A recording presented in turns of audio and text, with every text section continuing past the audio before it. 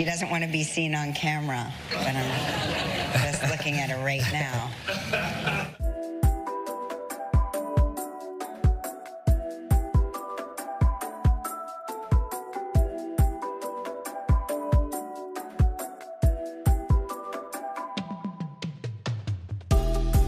Could you get stuff over on me, or was I a very good interrogator?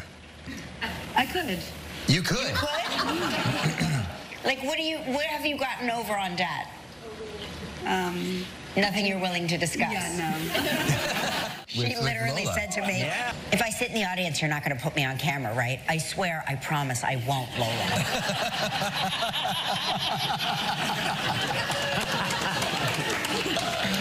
Sorry, Lola. Okay.